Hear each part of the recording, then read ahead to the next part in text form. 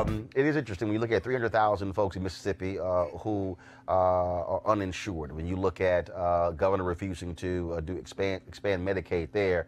Uh, when you look at the education stats, you look at so, so uh, we look at the education stats, the health stats. When you look at all those things, Mississippi literally is 45th to 50th. Mm-hmm. And so whenever uh, whenever I hear Republicans ask the question, well, uh, to black folks, why do you vote Democrat? Look, flip it. You got to ask white folks in Mississippi, why are you voting Republican when you are literally 48th, 48th to 49th in education, 40th to 49th or 50th in healthcare, uh, and then of course when you talk about business, economic development, about 45, 46. You know, it's hard to figure out for me. I know you're going to say it's not hard to figure out at all. But for me, it's hard to figure out why there are so many issues in certain states and certain parts of the country. Now, when, when you look at folks and you say, well, why vote Republican? If, if school choice worked the way it was supposed to, that would be an alternative. That would be a solution as far as education. And it seems to me that one of the best ways, long term, not short term, but long term, to turn around a lot of the economic issues and situations and generational issues is quality education.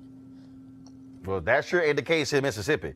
Uh, uh, clearly, uh, I mean, but we, I, we, said if it worked the way it's supposed to, I did. I did qualify it that way. And one of the things I find to be re- I find to be real interesting when you talk about uh, when you talk about uh, uh, Mississippi. I was watching a video. Actually, Alexandria Pelosi mm-hmm. had gone there, and a number of people they were saying, "Well, look, you know, you know, we believe in God." I'm going, "Okay, I believe in God too, but y'all broke as hell." Uh, and again, when you look at, and the fact of the matter is, uh, it amazes me when I listen to people in Mississippi talk about, well, we don't want any help from the federal government. Do, do they know the percentage of their budget comes from the federal government? Your thoughts? I, I, am just trying to figure out how Republicans nominated somebody like the candidate they did, who's now the next U.S. senator. Remember, the governor picked her. They, they didn't. He didn't even want her. I mean, they didn't even want her. And then Trump was soft on her until the very last minute when he saw the polls squeezing together, closer and closer.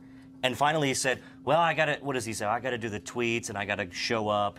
And I think that at the very last minute, he came down and decided, "Look, here I am. She's my girl." And I'm just trying to figure out why they keep electing bad people to office. I mean, she's not the brightest bulb in a dark room. No, she's not. In fact, she's. They, the governor thought, well, maybe I'll appoint myself. They got her. it looks nice, but the, the Republicans today are going full force and saying she's the first woman elected to the federal delegation from the state of Mississippi. What since Reconstruction? that's not really something to celebrate in the Trump era. Cleo, again, the race is an issue. I don't care what you say. Mississippi, unlike unlike really any other state, I mean, it breaks very clearly white, black. Can I finish shaking my head first? Okay, I'm finished.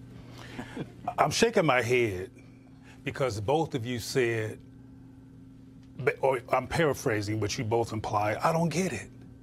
You know why? are people supporting Hyde Smith or Smith Hyde, whatever the lyncher's racist woman's name? Hyde Smith. Okay. Why? And you know why. Come on now. You know why. You know why too. So why don't you just say it? So since I mean, it can't you, it can't change or transform or be possibly different because these poor white people, for a long time now, but especially recently, are concerned about losing white power concerning about people that look like them not being top dog no more. So all this logic about health care and resources, it's not, that's logical and that does make sense. Again, I mean, I know I'm being redundant because I've said this a million times, but these people are like, look, I'd rather be broke with no teeth, and I mean teeth with an F because they so broke they can afford the TH that I'd rather be broke with no teeth than have to look up again. Obama and Michelle already scared me to death because they made it clear that we're not superior and we can't we couldn't afford that psychologically. We need to feel superior, dang it, no matter what. If we broke lights out, our, we need that that illusion of superiority symbolically to get up in the morning. So that illusion is strong enough to replace what's not in your wallet? Well, yes. Uh, well, I mean, that's, yes. that's, a rhetorical question, right? But see, that's why I said I'm confused, because see, it's not that strong for me. Well, I, you ain't a white woman. Amen. Amen. Okay. A woman, a man, a cat, a dog, you ain't a white woman.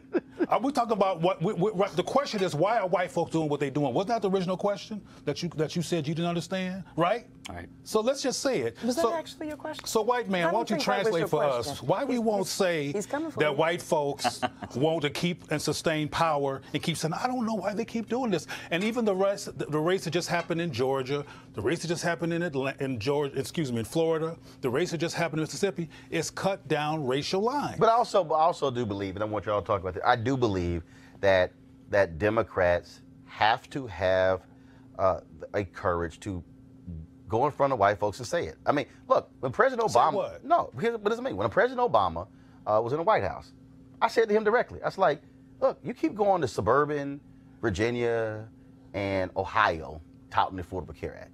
I'm like, no, no, no. You need to go to the brokest, reddest, most conservative, sickest part of Mississippi and look them in their eye and say, you know I passed this bill for folks like y'all. But as long as Democrats are on basically want black folks to do the heavy lifting, well, if we can get black turnout. No, it's white folks there who could be able to turn out as well. You have to be willing to actually do that. And so here you got 2020 coming up. Oh, I can't wait to see if Elizabeth Warren, if Bernie Sanders, if Tim Ryan, if he runs, if Mitch Landrieu, if he runs, if they're going to be willing to go in front of conservative, broke white people and, and speak to them directly about their, their interests like they would in front of black folks. I'm just curious if they're going to have the. I, first of all, I, we know Donald Trump not going to do it. Because in fact, the on- only black people you see at his rally is like one or two brothers who stumble into his rally who's right behind him, or you got Cubic Zirconia and Cotton who might show up there, uh, who might show up, but that's about it. but did Obama take your advice? No, So we have to go back into that abstract issue of why. Because here's why. Because in America, in America, first of all, America has been a white nation. Period. You can dance around it, and so so we like perfect example. You they would say a group of black pastors met with Trump, but you won't see the headline a group of white pastors met with Trump because in America anything that is being considered normal or mainstream is really is really white, and so we have not gotten used to literally saying white people. I mean, if you go on cable news, mainstream, you say white people, they kind well, well, I'm going, why, why y'all freaking out? It just happened. But we will, we will, no, no, no, but it, no, it, wasn't a big No, no, we do it. but it was a no, no, no. What I'm saying is, what happens is, we can talk very clearly about African Americans, Latinos, which Republicans will call identity politics, but we're reaching the point where white folks, yeah, we gonna start using phrases like white folks, white voters, because that is still a block of voters, and people are unwilling to say it, and that's why, Cleo, that's why they, they're unafraid. Uh, uh, they're unafraid to go in front of white people and say, "Listen up, white people," but they'll happily bring a gospel choir to a room full of black people. Well, but even when Trump mentioned, I'm just mentioning this because you mentioned it, even when Trump met with ministers, he met with confused, black on Thursday, white the rest No, of no, the no, no, week. no, no. I, I agree with Ministers. that. But here's my point. My point, though, is how it's framed. Media will say Trump met with a No, group of point. black pastors. You will never ever hear That he met with a a group of white cable host pastors. or a newspaper editor put as a headline, Trump meets with white pastors. Never. Even though in the room ain't nothing but white people. Didn't Trump meet with the pastor that, or his top guy that he relies on for religious advice inside the black community was the the guy that Darrell made up- Scott from Cleveland. the guy that made up his credentials. Oh, no, no, no. That's Mark Burns. That's Mark Mark, Bur- yeah. that's Mark Burns, South Carolina. I see him like Now you ain't see Mark, Mark don't get invited to the White House. Okay, Darrell Scott from Cleveland gets invited to the White Yeah. House, but they don't invite Mark. They don't invite Mark. yeah, that was the guy that got up out of the interview because they called him out on. Right. He left his own church. Yeah. He left the CNN dude at his own and got in his car and left. I ain't never left my place and left somebody in my place. I'm like, y'all can pack up and leave. Y'all got Well, that go. dude was biologically black, right? But that- you talking about white folks. No, but again, I'm, I'm t- no seriously. This, this is, I think, and, and again, uh, Shannon Brown, I love when you speak to this. I think, in order for you're going to have to have folks willing to say, white people, white voters. I don't think they're going to do it, but that's what's going to have to happen. Shannon, go ahead. I'm laughing at you. That's what I'm laughing at. But that's super I am black. Not ashamed to say that. That's super black. It's the truth, though. So, but here's the thing. I- I'm at an age and a stage where I don't care if you're pink or purple. I'm gonna tell you you're pink or purple, but that's me. It takes a certain amount of don't give a crap to be able to go in a room and call that room whatever it is.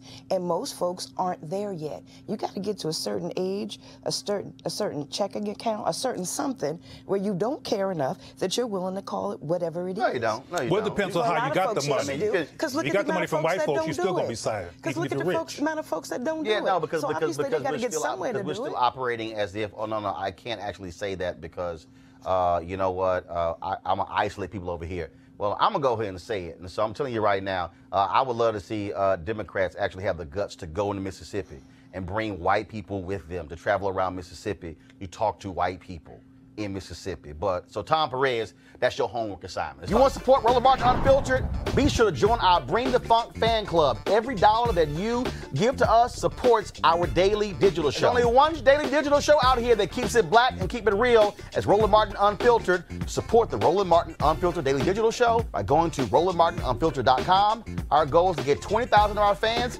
contributing 50 bucks each for the whole year. You can make this possible. RolandMartinUnfiltered.com.